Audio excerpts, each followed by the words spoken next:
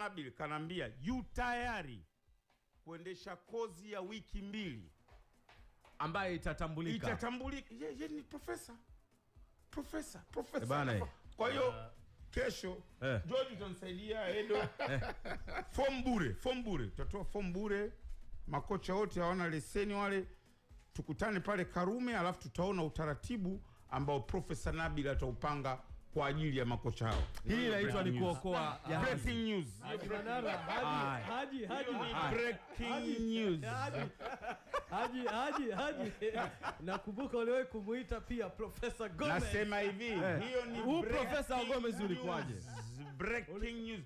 Profesa Ah, wa Gomez ambao ulikuwa unasema wakati uko kule ulikuwaje? Kwani ngojea. Eh. Wewe unamkumbuka marehemu Profesa Volata? Hakumbuki. Au mjui? Maji marefu. Maji marefu mjui. Eh, Hebu tuendelee na mambo mengine bwana. Haji ka.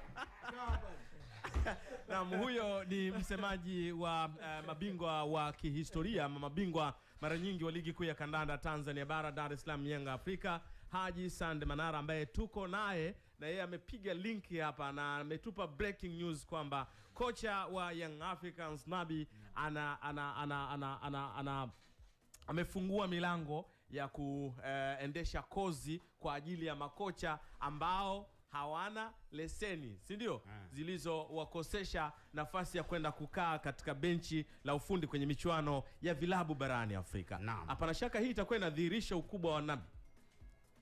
Ah, Bila shaka yote yule ni kocha mkubwa sana. ha. Unajua katika katika kitu ambacho siku moja niliwe kumsikia Gary Lineker akilaumu uteuzi wa mwalimu fulani kufundisha moja ya club za ligi kuu ya England, akasema huyu haqualify, akataja na sababu zake na nini. FA na ile klabu yake ikatetea kwelikweli, anafaa si nini akaambia tuendeni kwenye matokeo. Na matokeo bwana akawa na fluku bwana. Sijua mungu alivyo. Mungu fundi. mungu eh, watu wana fluku bwana. Akija timu be wanashinda tule timu be watu wakawa namtusuika nani gari lineka lakini zama zile ilikuwa ukimaliza kucheza mpira tayari ni license. Najua siku za nyuma hakukuwa na mambo kama haya siku hizi. Eh. Zamani mtu anaitaa leo kesho kocha wa timu ya taifa. Ni kweli. sasa ilipofika wakati ambapo sasa vyeti vinatakiwa yule bwana akaacha kazi ile. Sasa ndo nasema hii, hii mambo hii ya chupli chupli katika kila eneo si jambo jema kwa, kwa, kwa maendeleo ya mpira wa miguu. Mi nakwambieni tusizungumze katika levu ya utani tu au vihaka tuizungumze katika reality tunaposema yanga ni timu kubwa tuonyeshe kwa vitendo ukubwa wetu. Tunaposema Edo Kumwembe ni mchambuzi mahiri na mkubwa, lazima aonyeshe ule ukubwa wake na umahiri wake. Haiwezekani Edo Kumwembe mchambuzi mahiri mkubwa, kesho na kishokutwa tunamuona anafanya vibweka ambavyo havilingani na hiyo hadhi ya uchambuzi mahiri. Huwezi kuwa klabu inacheza Champions League alafu unaleta coach ambaye hana vigezo vya kuwa kocha wa Champions League. Ni utoto, ni, ni utoto wa kiwango cha kupitiliza katika nchi ambazo zilizofata ustawi wa maendeleo hasa na mipango madhubuti. Jambo kama lile, kuna watu wanawajibika. Unawezaje timu inayocheza Champions League inamwajiri kocha ambaye aqualify? Kwa vigezo gani mlitumia? Kwa yaani, mlifanyaje wakati mnamwajiri? Mlianza kumuuliza umezaliwa wapi, umetokea wapi, historia yako ikoje? Hamkumuuliza sifa zake za kitaaluma? Kweli inawezekana? Alafu tunatamba sisi ni timu kubwa kweli kweli, tuko very professional, tuna watu weledi. Ala, yani mnamwajiri vipi huyo mtu? Bahati mbaya sana tunapenda kujitukuza kwa sababu ya results za muda mfupi, lakini uhalisia ndo kama huu sasa, waupi timu kubwa na tunachotaka kukifanya. Hivi vigezo vilianza mwaka gani? Mwaka huu ama mwaka uliopita?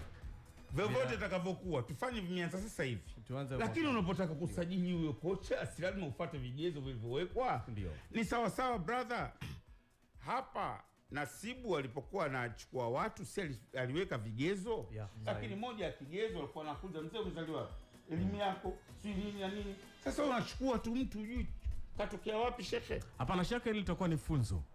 na sio funzo tu. Unajua funzo inaisha hivyo hivyo. Hii Waarabu wanaita ibra, Ibra. Ikiwa na maana? mafundisho. Unajua funzo na mafundisho ni tofauti. mm. Kwa sababu kuna siku hapa, kuna siku tutaajiri daktari ambaye haqualify kwa daktari wa kwenye timu. Tutaajiri hapo kama tumeweza kumwajiri. Ngoja nikwambie, nitolee mfano klabu yangu Yanga. Yanga maana yake nini? Yanga maana yake ni timu ya mpira. Achana mambo mengine, organization, sijui mambo ya investment.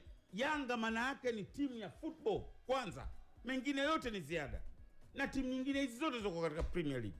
Mkuu wa timu ya football ni nani? Chief kwenye timu ya football anakuwa nani? Ni coach Kocha ndio. ndio coach. Yani wewe unamwajiri vipi chief kwenye timu ya mpira ambaye qualify kuwa coach? Yani unafanyaje fanyaje? Unatumia akili gani kumwajiri mkuu? Yani ni sawasawa katika taasisi shirika kubwa kama NSSF au bandari au benki kuu, unamwajiri gavana ambaye hana vigezo vya kuwa gavana.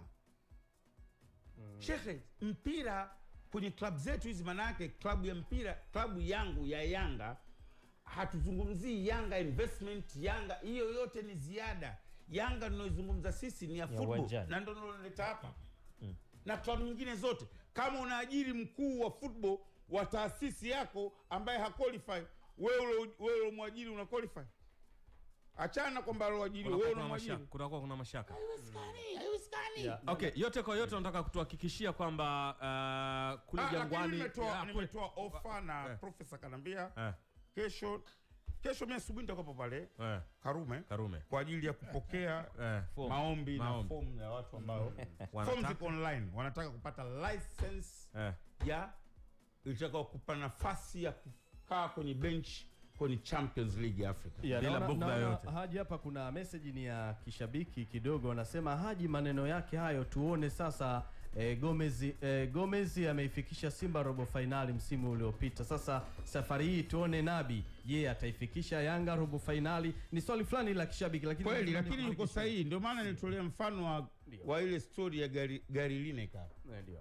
si mnakumbuka nitolea- ngoja niwaambie labda mfano hai mwaka 1900 uh, kama sikosei 89 yes 89 mm. wakati ule ndo mambo ya kozikozi zishaanza za makocha kocha mi bado na akili timamu mkubwa. Yanga tulikuwa na kocha anaitwa tazan kesi ambaye alitufundisha sisi udogoni Yeah. marehemu. Halikuwa hajawahi kuwa chief coach wa yanga. Yanga ule mwaka 89 walipambana pambana wakatoa makocha hawa na kutoa mpaka nakumbuka babangu mimi aliyokwenda pale akafundisha mechi mbili tatu, yani walikuwa hawajapata kocha wao kudumu, wakamchukua Tazan Kesi. Tazan sifa yake ilikuwa kimbia, zunguka uwanja, kata, hana cha mbinu, hana chochote. Lakini unajua what has happened? mm. What has happened? Yanga alikuwa bingwa ligi kuu Tanzania bara. Yeah, yes. Kwa mbinu hizo hizo. Na makocha aliokuwa anapambana nao kina Mzirai, Zakaria Kinanda, sijui Matoke, sijui Dan Koroso, Kibadeni, Tazan Kesi ikawapa ubingwa Yanga. Hizi mambo ya kusema kwamba wao kafika robo fainali, hizi chupli chupli zinafanyikia huku zinafanyikia huku, naenda kusamba kwa sababu ya chupli chupli. chaka. fact ni kwamba anavyo vigezo, achana mambo mengine. Hizi chupli chupli tu, tusitumie vi, eh, kigezo cha mtu kuqualify kwa ajili ya jambo fulani. Kama ingekuwa hivyo, kafu asingekuwa wanaweka vigezo vyao, wangekuwa watumia kocha huko.